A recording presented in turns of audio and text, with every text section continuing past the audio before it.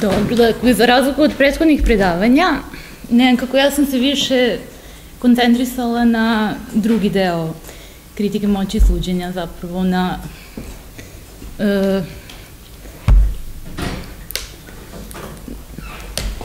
na kritiku teleološke moći suđenja pri tumačenju e, zapravo mi je cilj da objasnim e, mesto društvenog ugovora, to jest prelaska iz prirodnog u građansko stanje, da to povežem nekako sa, e, sa idejom teleologije uopšte u Kantovom sistemu kao celini. E, tu sam takođe, e, ću se pozivati na e, teleološki argument koji razmatra, dakle, Kantovu e, filozofiju politike i uopšte taj prelazak iz prirodnog u građansko stanje iz E, večnog mira, to jest to je u stvari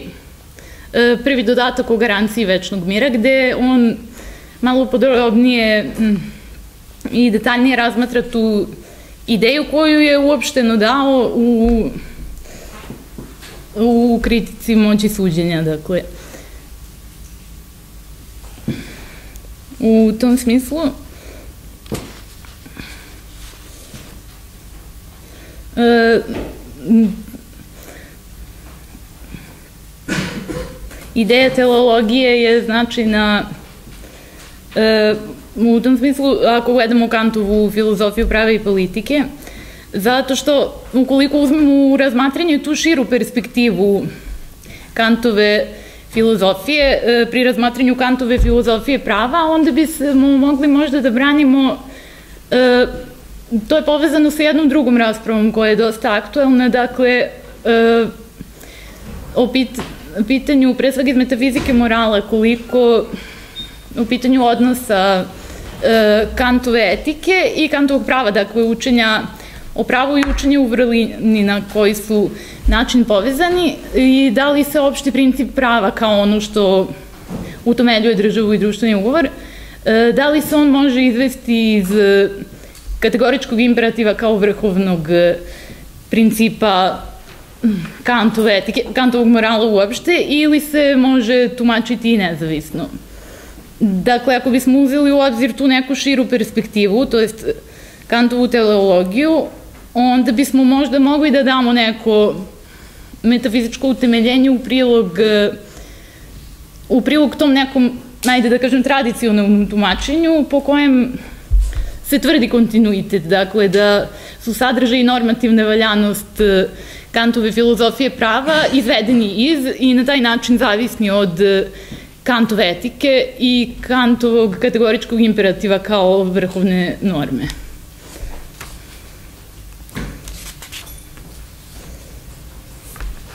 Tako da u tom smislu m,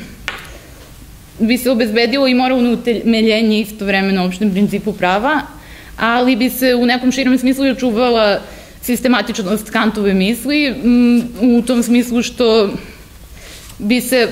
opravdala neka predpostavka koja je intuitivna, s obzirom na to da se u metafizici morale razmatraju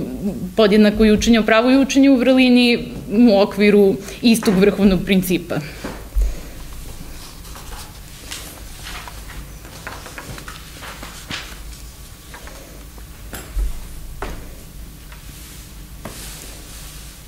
Tako da,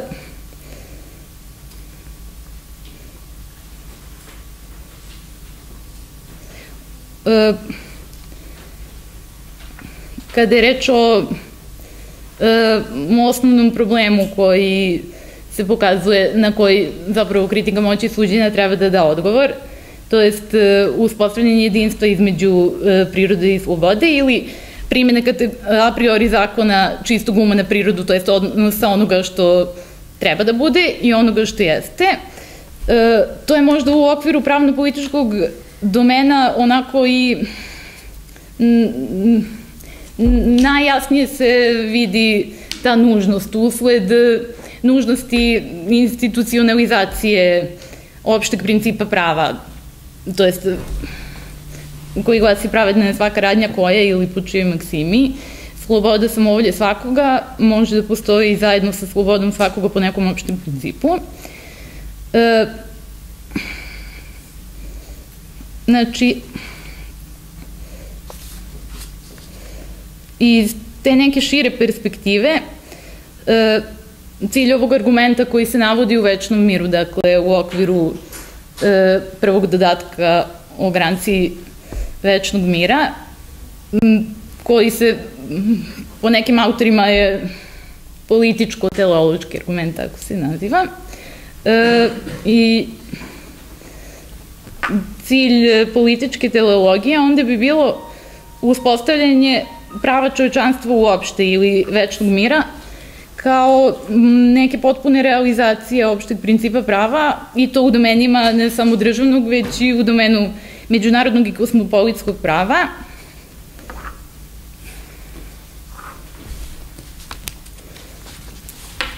Tako da se u kontekstu tih kantovih e, teleoloških razmatranja može reći da se politička zajednica konstituiše onda e, radi realizacije večnog mira koje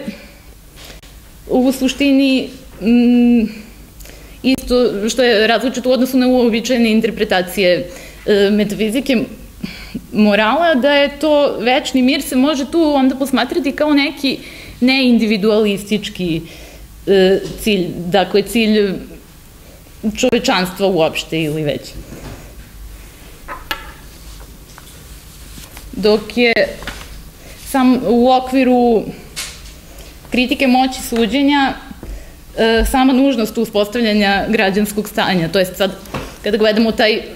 argument političke teologije kao nešto uže što e, detaljnije objašnjava taj prelaz koji naznačuje, koji Kant samo naznačuje u kritici moći suđenja. Dakle, u kritici moći suđenja on kaže da je ta nužnost uspostavljanja građanskog stanja posredstvom ovog cilja političke teologije, to je večnog mira, u okviru te šire teološke zamisli e, shvaćena kao nekakav e, kao formalni uslov po kojem je priroda u stanju da postigne svoju krajnju svrhu. Tako da, u tom smislu najpre treba objasniti razvoj Kantove zamisli o prirodi kao svrhovitom sistemu u kritici moći suđenja, to je to e, reflektivnoj moći suđenja primenjenoj na, na prirodu i na prirodne zakone i uopšte na e, sistem iskustva i na krajnju svrhu prirode. Naime, Kant tu pokazuje na koji način mi unosimo pojem svrhovitosti u naše posmatranje prirode kao sveta fenomena e, i ta zamisao o svrhovitosti, kao što znamo, kao regulativni princip, najpre ima heurističku vrednost pri ispitivanju pojedinačnih fenomena prirode, ali nas, dakle, istovremeno e, navode i da razmišljamo o svrhovitosti prirode kao cijeline. E, Kant onda dalje e,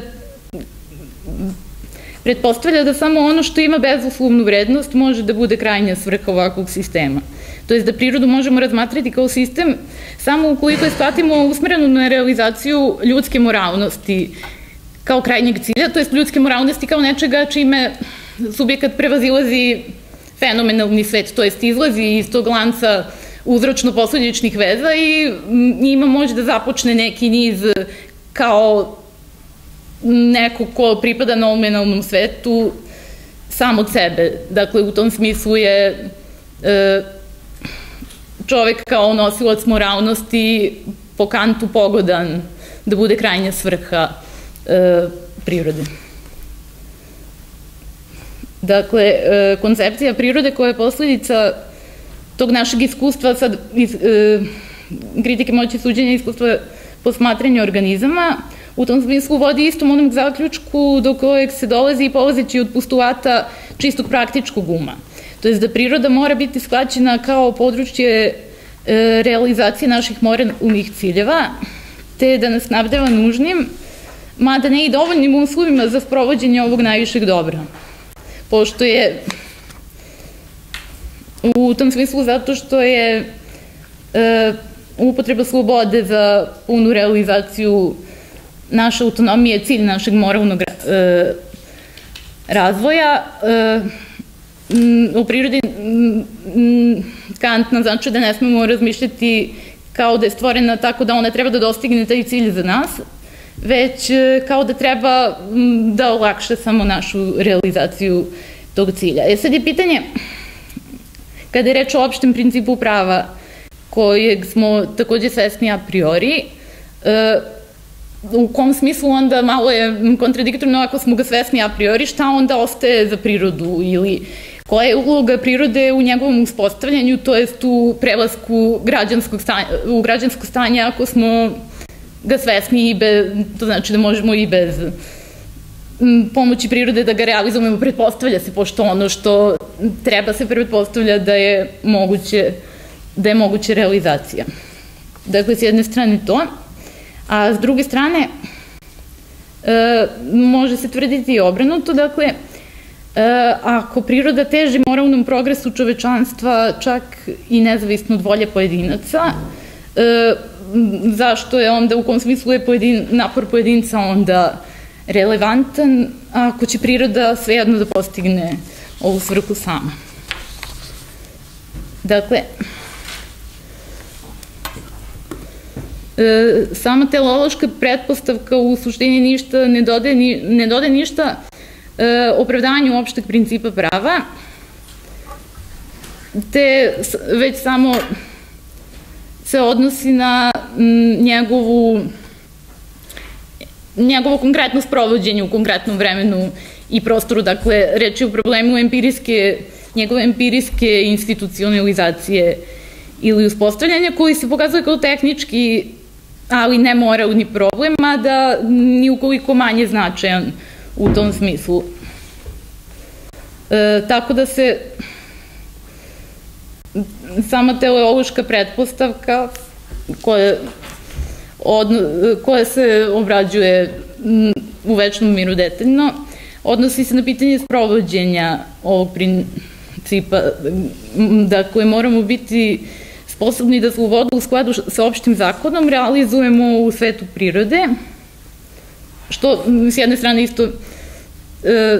znači da taj cilj mora biti realizovan u vremenu, to je u istoriji kao najosnovnijoj formi prirode. Dakle, e,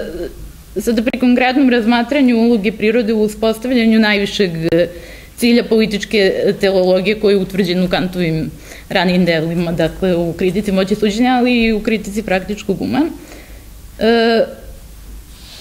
u večnom miru on kaže da E, dakle, taj teleološki argument se sastoji iz dva dela. U, najpre Kant kaže da je potrebno da ispitamo prilike što ih je priroda stvorila za te osobe, za osobe koji deluju u okviru prirode, pomoću kojih će ona na posledku da obezbedi večni mir kao krajnji cilj. Dakle, to s jedne strane. A sa druge strane, e, se ispituje i način na koji ona to postiže. I Kant dalje ispituje opšte uslove prirode koji mir čine, znači, s jedne strane nužnim, da bi zatim detaljnije razmotrio način na koji priroda mir čini mogućim. Ali je važno da pomenuti da priroda mir čini uslovno mogućim i nužnim, utoliko što je osnov njegove bezuslovne nužnosti i mogućnosti naša neposredna svest o dužnosti da izađemo iz prirodnog stanja, to jest da sprovedemo opšti princip prava na svim tim nivoima, da, da smo toga svesni a priori. I sad, pri razmatranju ove e, empirijske u, ili uslovne nužnosti e, mira, Kant, dakle, E, naime, kada razmatra te e, prilike koje su date ljudima koji deluju u okviru prirode ili sveta fenomena, e, on tu zauzima retrospektivnu perspektivu, to jest pruža prikaz nekog dosadašnjeg razvoja čovečanstva ka miru i on tu navodi tri uslova. Dakle, najpre kaže da je priroda pomaže realizaciji tog prelaska iz prirodnog u građansko stanje i realizaciji večnog mira, tako što se najpre pobrinula da ljudi mogu živjeti u svim krajevima sveta, zatim što ih je ratom rastrala na sve strane, da tako nasile i najpustije krajeve i na kraju e, što ih je na isti način prisilila da stupe u manje ili više zakonske odnose. E sad, ovi treći uslov, on ne razmatra dovoljno odvojeno u odnosu na prethodna dva, ali bitno je napomenuti da, pošto on naglašava da su to manje ili više zakonski odnosi, da su oni nekako empirijski ustanovljeni, to je da nastaju sa pojavom trgovine i poljoprivrede. I da oni u tom smislu nisu dovoljni jer ne mogu pružiti opravdanje prava kao a priori pojma čistog praktičkog uma. Već e, samo ukazuju na tu empirijsku nužnost, dakle, na nuždu koje, koju priroda nameće, koja se, je pre svega u ljudskoj prirodi prisutna e, prelaska iz prirodnog u građansko stanje. E sad, tu isto navodi kao značajan faktor e, koji e, koji pomaže tom, koji pomaže uspostavljanju građanskog stanja navodi e, rat, gde se izme, ali između zajednica, dakle, gde su uspostavljeni ti manje ili više zakonski odnosi koji, e,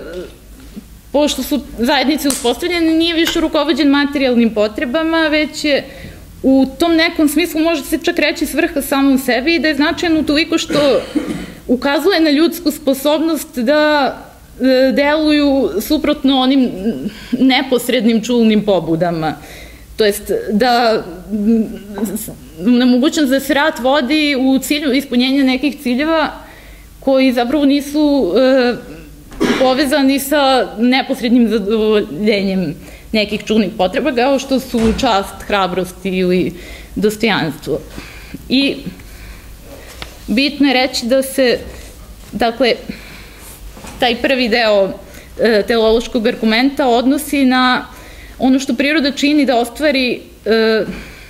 taj svoj cilj s obzirom na ljudski rod kao, kao životinsku vrstu, da kažemo uslovno. E sad, drugi zadatak, dakle, razmatranje e,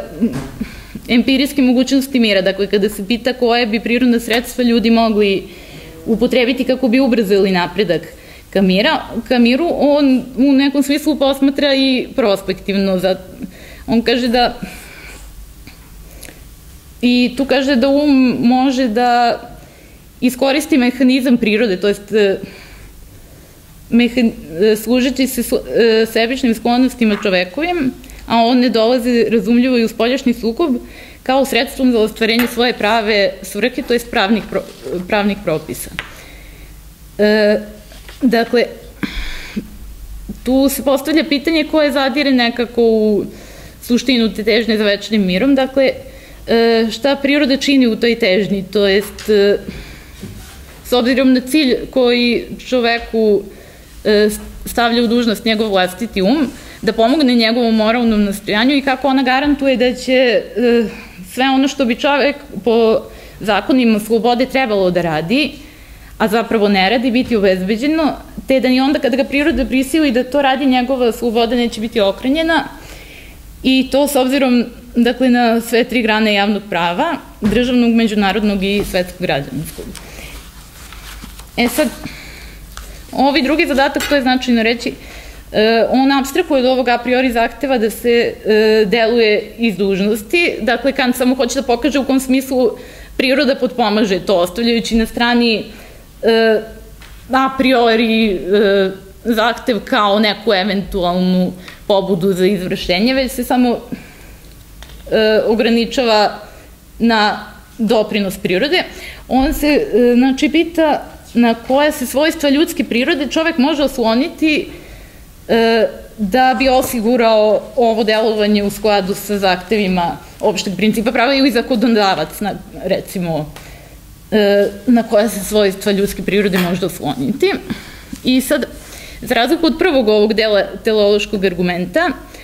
e, Kant se ovde pri razmatranju neke moguće e, buduće istorije, a abstrahujući od praktičkog uma, poziva se na ideju promišljenog ljudskog delovanja, to jest na razum, gde to je onaj poznati primer gde kaže da je E, republikanski ustav mogući za državu e, đavola samo ukoliko su razumni. Dakle, da ne moraju da da ne mora uopšte moralna pobuda da uđe u igru. E, međutim,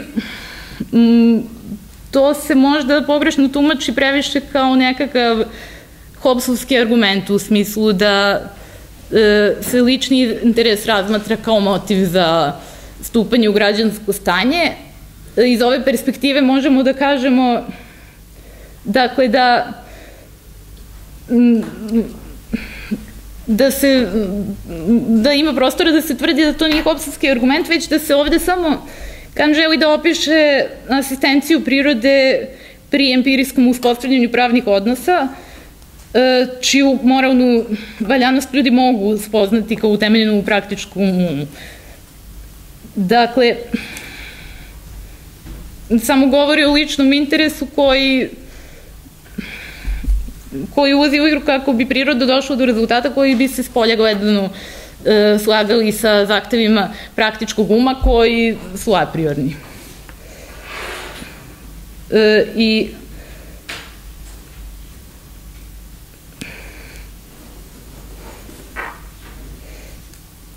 Dakle, gde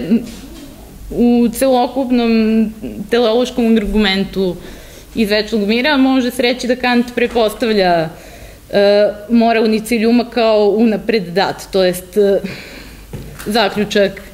kritike moći suđenja i da je to pokušaj da se posreduje između nečuvno utemeljenog zakona spoljašnje slobode i zahteva za njegovim čulnim utemeljenjem. E sad, šta je značajno što sam napomenula, da e, recimo kada se posmatra metafizika morala i definiciju u okviru nje izolovano, da tu recimo postoji neka uobičajena interpretacija da e, da se cilj prava, to jest tretiranje pojedinca kao svrke po sebi, što je uspostavljeno još i u zasnivanju metafizike morala, ali nije na neki način dovoljno određeno, ono se e, u najčešćem broju slučajeva se poistovećuje sa e, osiguravanjem pojedin, pojedinčeve slobode izbora, dakle, e, slobode da se slede lični interesi ili razvijaju talenti ili slično, dok e, Kantova politička teologija u suštini e, ako se pozovemo na nju, možemo se e, suprotstaviti nekako ima prostora da se ovaj pravac interpretacije dovede u pitanje. E, to jest novo individualističko tumačenje, zato što e,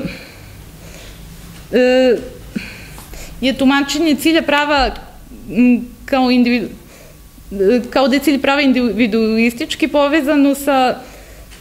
jednom mnogoopštem tendencijom da se e, m, da se mešta Kantovo pozivanje u etici na humanitet kao cilj po sebi sa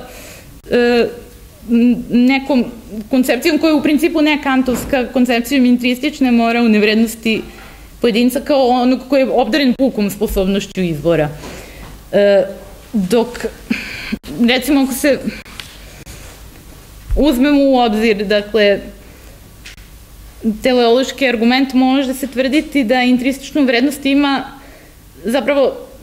ne pojedinac kao oni koji bira ono što je vezano lično za njega, već da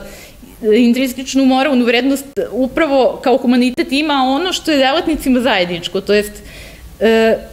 ideja humaniteta koja je nama u suštini u strogom smislu može se reći i nepoznat. Dakle, mi ne znamo kako, mora, kako nas moralni imperativ određuje, e, već smo te ideje humaniteta svesni kao onoga što nas odvaja od ostatka prirode, kao pripadne svetu noumenona, ali pošto po, stvari po sebi, recimo po analogiji, pripada uh, svetu noumenona, uh, u suštini nam je nedokučiva. I zapravo je ova sposobnost izbora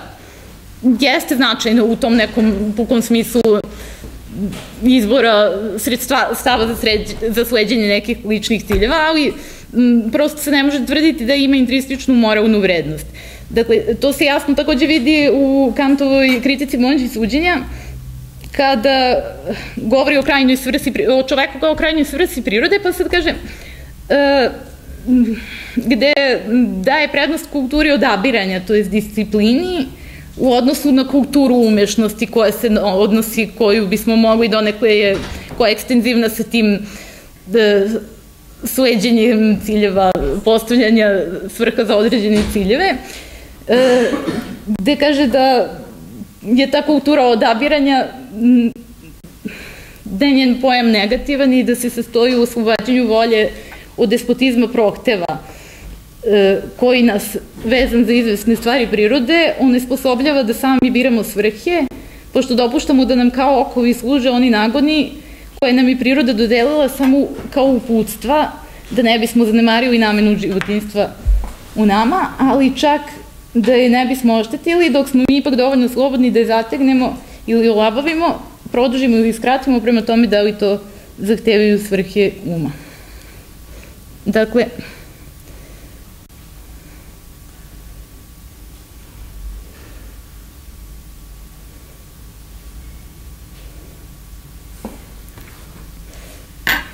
I ovom cilju možemo, približavamo se putem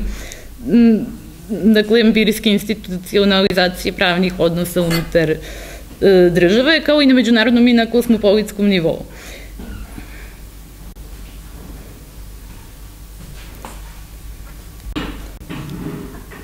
I ta ideja humaniteta kao svrhe po sebi, kao onoga što je zajedničko pojedincima, e, jest ideja koja e, prema e, Kantovoj zamisli političke teologije iz večnog mira usmerava delovanje pojedinaca u pravcu nekog kolektivnog napredovanja ka večnom miru, čak na, ne, na više mesta Kant govori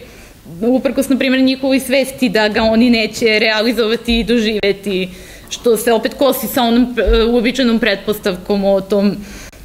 nekom mogućnosti izbora kao u širem smislu kao onoga što opšti princip prava treba da osigura. Ili kada Kant kaže, na primjer, da e, pojedinci kao kolektiv pokušavaju da se približe večnom miru, čak i u mnogim propalim pokušajima, ili u sporu među fakultetima, recimo kada govori o nekom kolektivnom odobravanju francuske revolucije kao kao nekom događaju koji onako bezinteresno pojedinci odobravaju. To je to.